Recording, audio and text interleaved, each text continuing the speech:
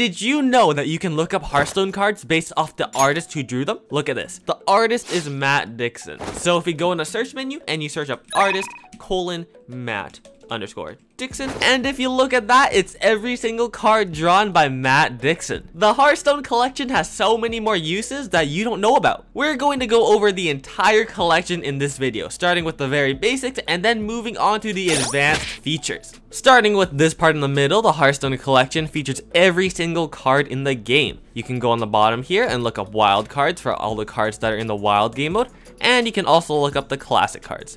If you scroll down, you can see every single card sorted by the set they are in and the wild sets as well. At the bottom, you have legacy cards. They don't really matter. You don't have to worry about them, especially if you're just starting. Going back to the collection, you can right click on a card to view it. And as you can see, this is a core card. It's uncraftable. We can right click any other card. And as you can see, on the right, you have the expansion they were in, the rarity, and the artist who drew it. You can also see the card in its full glory and you can disenchant and recraft it. We will get to that in just a bit. The collection is sorted by mana first and then in alphabetical order. So it starts at 0 mana, then 1, and when it goes to 1 mana, the cards are shown in alphabetical order. So we got the Battle Fiend with the B, the Crimson Sigil Runner with the C, and you get the idea. On the top here, you have every single Hearthstone class and the neutral cards represented by the little fangs, and these are also in alphabetical order. Or you can just memorize the icons. So we got Demon Hunter, Druid, Hunter, Mage, you get the idea. If we go on the very right over here, we have our coins. You have the default coin you can always use, but you can also get other coins by collecting so many cards in an expansion. So for this one, I need 135 Forged in the Barrens cards to own it. If I want to use this coin, I'd press make favorite. And now the coin will give me this skin. But I like using the Darkmoon Faire one, so I'm going to make this one my favorite. And now that's my coin I'm using. Some coins you can only obtain through the Battle Pass like this one only can be obtained in the battle pass. Looks like you gotta fork up some money. Sucks to suck, doesn't it? One tab over, we have your card backs. Again, right click to look at a card back, left click to make favorite. I like using the random card back, meaning that each game I'll get a different card back. If you go over to the end of your collection, Oh my gosh, I have a lot of cards. You'll see these translucent card backs. If you right click on them, you can buy a card pack for 500 gold. You can look at your gold on the bottom right hand corner or your dust on the bottom right hand corner depending on what menu you're in. If you go into the end of your collection, you'll see the translucent card backs. You can't buy these card backs. You're going to have to get them by doing something special. So for example, you'd have to complete League of Explorers in Heroic to get this card back,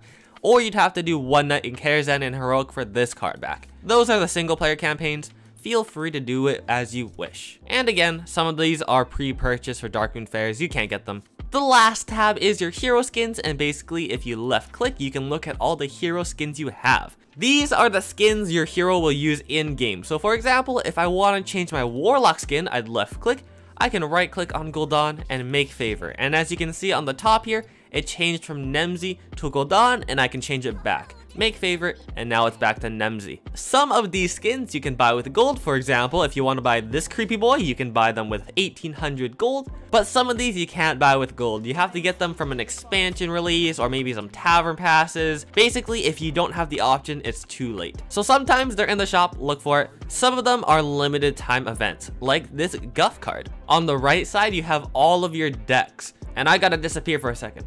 Boop. So if we scroll down to the very bottom, you've got your new deck. And for example, I want to build a priest deck. So I pick priest and I choose.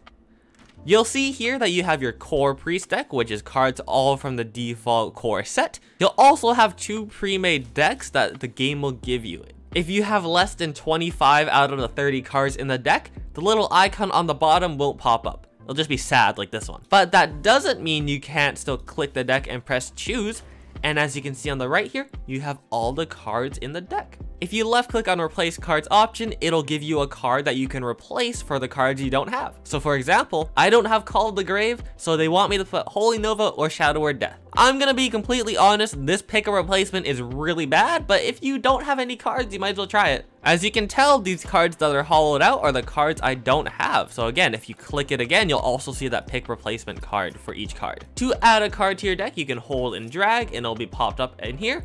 And to remove a card, you can hold and drag. Alternatively, you can left click on the card, it will be added to your deck. and you can left click on the card in the deck list and it will be removed. If you hover over your hero, you have a few options. First, you can rename your deck, so just click on that little text box right there, and you can name it whatever you want. For example, subscribe if these videos are helping you. but as you can see, you only have a certain number of characters you can use. So press enter and that's the new deck name. You can also convert the deck to wild, meaning the deck is now playable in wild. Well, actually, the deck is playable in wild if it's just a standard deck, but now you can add wild cards, like Forbidden Words. So instead of just showing standard cards, if you convert to wild, you can now add wild cards to your deck as well. The deck helper option is just the replace card option, but in a different place. This time we're going to make a custom deck and we're going to press the complete my deck option. Basically what this does, it just creates a new deck for you. This is actually a pretty good deck. What the heck? Let's say for example, I want to show the entire world this hunter deck go over to the custom hunter and I'm gonna press copy. What that does is copy your hunter deck into your clipboard, meaning you can paste it to something. So here I have my notepad up, I go control V and there's the hunter deck. What you can also do with this function is you can go to create new deck and it says would you like to create a new deck from your clipboard you press yes when you press yes you'll have the hunter deck that you just copied be put into your collection as a deck Let's try this with a deck online now. Right now, I'm on hsreplay.net. I'm gonna press copy deck to Hearthstone. But oh no, I have too many decks. I have 27 out of my 27 decks first thing I'm going to say is that you won't have 27 decks right away. You'll get them gradually. You'll start at 9 decks, then you'll get 18, then you'll get 27. So don't worry if you don't have 27 decks yet. If you hover over, you can click on the X and you can delete your deck. Alternatively, you can click and hold and that will move the decks around in any order you want them to be. This is useful for when you're in the Hearthstone menu and you want to move your decks around. So this would be the top deck in your collection and the one at the very end would be the bottom deck in your collection. Let's click new deck and as you can see the same thing happens, copying the deck from your clipboard.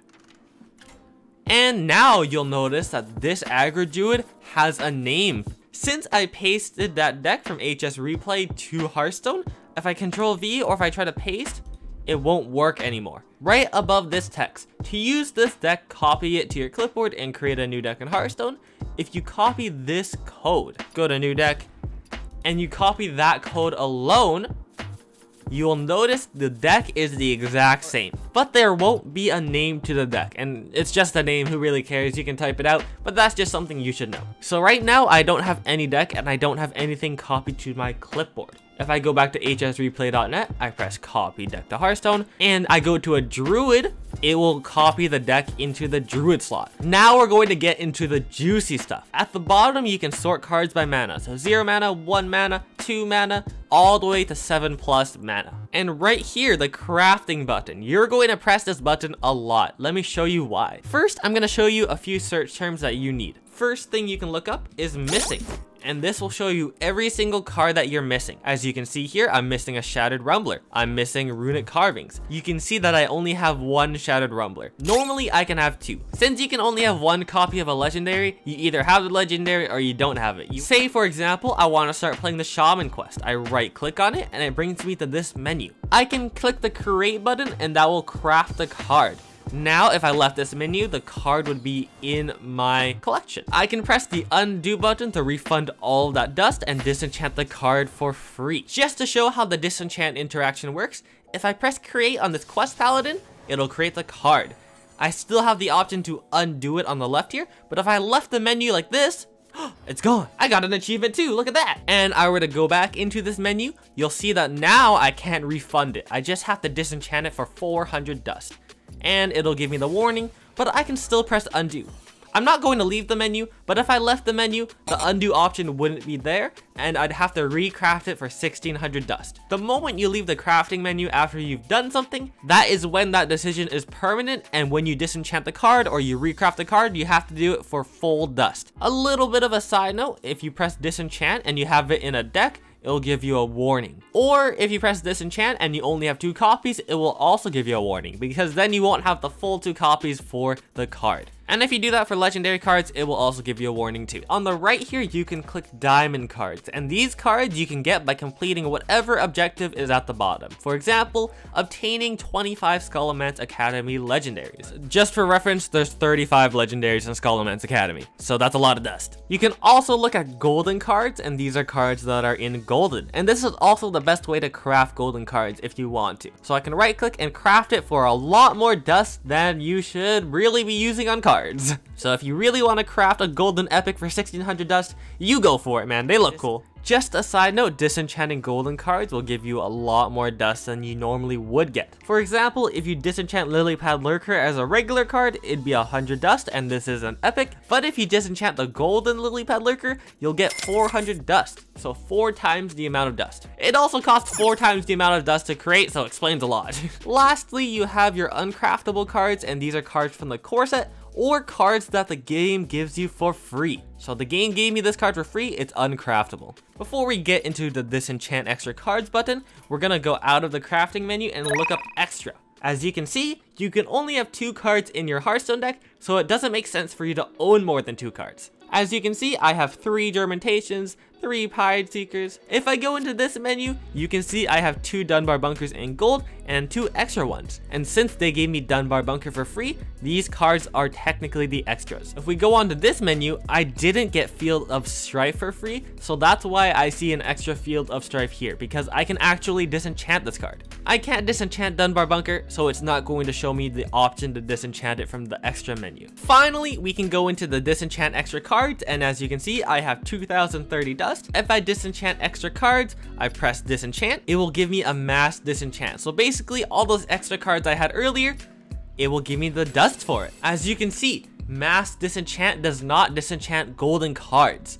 So I can right click Field of Strife and disenchant it from this menu right here. And you can do this for every single one of your extra cards. So some of the cards they won't let you disenchant the extras of. For example, Snowblind Harpy is uncraftable, so it doesn't mass disenchant this Snowblind Harpy. So I'd have to look up extra and disenchant that by hand, and it will give you some extra dust. And now we can get into the best part about the collection, this search bar. The way the search bar works is that you take whatever text is on the card, it will give you the cards that have those words on it. For example, if I want some healing in my deck, I can look up heal. And since the word heal is also in the word health, you'll see restore 5 health to each hero, restore 5 health, blah, blah, blah, blah, blah. If I want to look up a card name specifically, for example, I want to look up Spirit Guide, I can look up exactly Spirit Guide.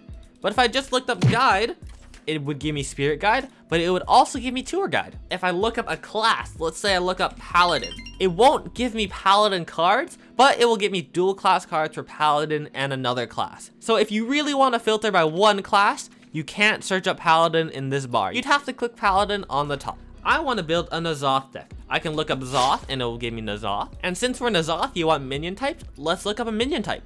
Let's look up Demon for example.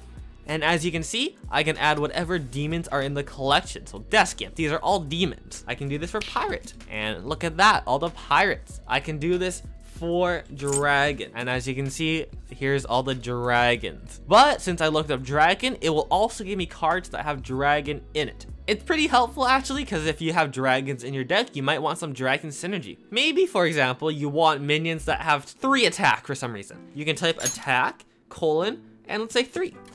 And here is every single minion with three attack in your collection.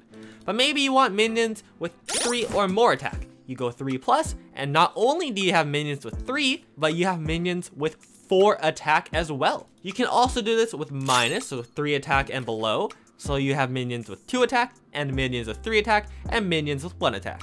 And if you go 3 dash, let's say 6 for example, you have minions with 3 attack, minions with 4 attack, minions with 5 attack, and minions with 6 attack. Come on, let me find one. There it is. And this works for every single attribute on the card. So you can go health. Here's all the minions with two. And you can do that for two plus, two minus, health two, two, seven for some reason. Seven's a big range. The most useful thing you can use this for is mana. For example, you have a card like Vanndar. For Vanndar, you want cards that cost five or more.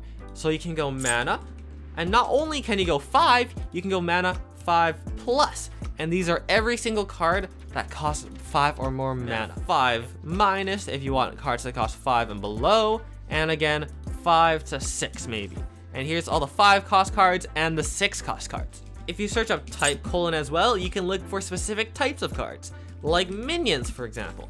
Type minion, and these are only minions, no spells here. If you look up type spell though, you'll only see spells and no minions. If you look up type weapon, of course, you'll only see some weapons. And if you look up type hero, you'll see only hero cards. And you'll notice I don't have many hero cards. So if I press the crafting menu on the bottom here, you can see all of the hero cards I have and I don't have. Speaking of cards I don't have, you can type missing in the box here and it will show you every single card you don't have and the cards you only have one of. Alternatively, you can go owned colon one and it will show you only the cards you own one of. I only have one evolving missiles, only have one of each legendary, so that's why they show up in this menu. I can also go own colon two and I can see all the cards that I own two of. For some reason, if you don't want to look up the sets on the left here, you can type it in the search menu. For example, Scholomance Academy, and here's all the Scholomance Academy cards, and only the Scholomance Academy cards. Or you can go SA, short for Scholomance Academy, and it's the exact same thing. Only Scholomance Academy cards, not cards that have SA in it. But for example, if I go TA, it'll show you any card that has TA in the text or its name. Gain plus attack. Sky Talon, right? Let me open some packs because I gotta show you something too. You'll notice at the top there's a one and that means you have a new card in your collection. Alternatively, you can search up new and it will show you that new card. The moment you hover over that new card, the new card icon's gone, but now you know that you had a new card. Hey, the card's made by Matt Dixon, look at that. And that is everything you need to know about your collection. If you want more Hearthstone guides, you should subscribe and check out this video right here. And if you really want to support the channel, check out the Patreon too for some perks as well. Thanks for stopping by. I'll see you around.